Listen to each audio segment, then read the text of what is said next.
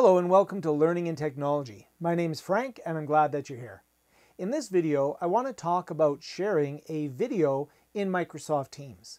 One of the challenges we have is that if I'm using Microsoft Teams and I'm using my built-in microphone and my built-in internal speakers, and then I go to share a video, the students might not hear the audio from that video. And what we have to do is we have to do a little quick little trick here so that instead of pushing out the audio from my microphone, I'm pushing out the audio from the system. And in this video, I'm going to show you how. If tips like this are useful for you, I hope you'll hit the like button and consider subscribing to the channel. And if you know any other co colleagues that could benefit from this information, I hope you'll share it with them. So let's have a look at how to push out a video in Microsoft Teams so that my students can hear and see the video. Here I am. If I'm going to show you sort of a, a, diagram here and then I'll show you on the system how to do this. So the normal way when I'm using Teams, I'm going to take advantage of the audio of my system. So in a normal environment, I will have built-in speakers. So I might have some built-in speakers here that will give me the output for sound, and I could have a built-in microphone that will allow for microphone input. So I'll have microphone input, and you could go and purchase a headset that has a microphone on it as well, and that could act as my audio input.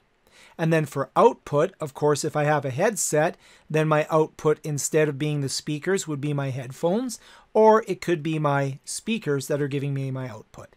So whether I'm using a external device like a headset with audio or whether I'm using the built-in microphone and the built-in speakers. The point is that I'm getting audio in and out of my computer system. Now, when I take something like a YouTube video and I share that on my screen through Teams, so I have a Teams meeting running and I want to share off that YouTube video. I can share off the screen, which will give me my video. So I can have my YouTube video being shared out. So my YouTube video is being shared out. The problem is my students won't hear it. And the reason my students won't hear it is because this is made up of both video, but it is also made up of audio. And what I need to do is I need to go into Teams and I'll basically have a switch in here. And instead of having the audio go out to my speakers or my headphones, what I want to do is I want the audio to become system audio and I want it to go out to my students. And then when I switch back to speaking to my students, I want to switch again and I want to put the audio back to my headphones or my speakers. So you're switching between two audio outputs. You're switching between the audio that pushes out to your students and the audio that plays on your headset or on your speakers of your system. And it's quite easy to do. I'll show you how to do this by, by demonstrating it. So let's go have a look at that. The first thing I want to do is confirm what am I using for audio. Now in my case, I'm using an external USB microphone and that's my input.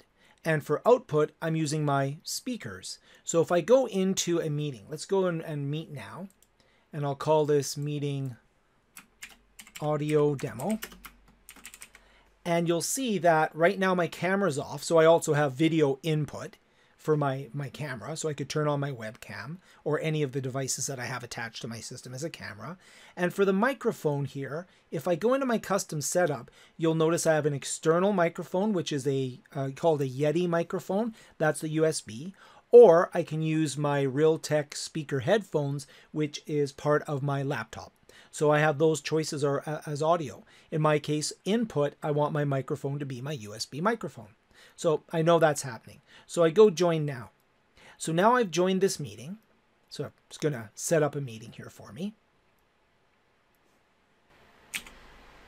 So now I have my meeting here. I could invite people to join me and such. And what I'll do is is I'll have somebody come and join me, maybe Clark Kent or, or Arthur. Somebody will come in and join me. So I'll just put them onto another computer so that I have a participant. So Clark has joined the meeting and I have this website that contains videos on YouTube that I think is, is really worth sharing out. So I go into YouTube and there's this great channel called Learning and Technology with Frank. And I really think you should subscribe to this channel and hit the like button on all the videos that this guy does. So obviously that's me. And I want to look at, say, booking student meetings. So I've got the video, and you'll notice I'm not hearing any sound right now. So if I go in, I'm going to stop that playback. And what I'm going to do is when I share out the content, what I need to do is click this slider to include the computer sound. Now, when I share out that content, it will include the computer sound, and the computer sound includes the audio for the YouTube video. So now I'm going to share it out, but now instead of just being the video, it's also sharing the computer audio. So if I'm on Clark's computer, I'm actually hearing the audio that goes along with this video. And the key to that was, again, if I go in the meeting, I'll stop sharing. The key there was when I share it, I need to include the computer sound. And notice each time I go into sharing, I have to include that computer sound if I want the computer sound, hence the audio, to be transmitted to the students. So hopefully that was helpful. It's a little trick, but I hope it was useful for you to see that. It can be very frustrating when you want to share a YouTube video, like the fantastic videos from this channel with your students, and, and they can't hear the audio. I mean, that's horrible. So if you like the video, hit like. If you want to subscribe, subscribe, and here's some more videos that you can take a look at to get better and better at teaching with teams.